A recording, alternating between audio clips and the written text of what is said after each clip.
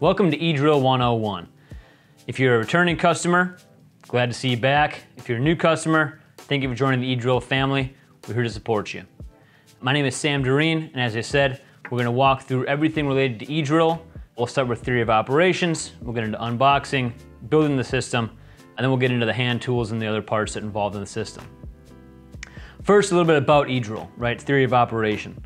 eDrill is the world's only handheld EDM device, and we use that to sink an electrode into the head or tail of a fastener to remove it in a better, faster, and safer way than you get with the traditional twist drill. eDrill operates using high pressure water as our dielectric. What that water does is three things. It cools the area, it allows the event to take place, and it also keeps the area clean from any debris or FOD you'd normally find while using a twist drill. We use a copper electrode to cut down inside the fastener to a depth we prescribe based off the engineering drawing of that fastener. The eDrill system consists of the touchscreen display, the mobile service unit or MSU, eDrill hand tools, and a series of guides, adapters, and location tools to ensure you are perfectly centered on the shank and head of that fastener to prevent any damage from being caused to your aircraft structure or engine systems.